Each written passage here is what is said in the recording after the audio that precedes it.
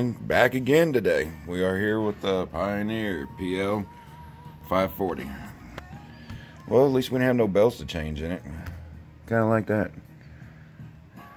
They'd have to replace the toner fluid. Or the arms, so go up and down good. Top's in there. This choker was so dirty. Customer wanted it recapped. When I got inside of it, there was no sense in it. Everything was fine. I mean, there was not one cap that even looked bad. So, went through. Of course, changed out the toner fluid. Got everything working.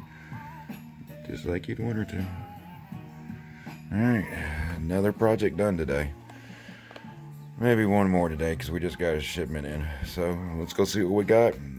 Maybe I'll be back tonight. If not, y'all have a good night and thank you for watching.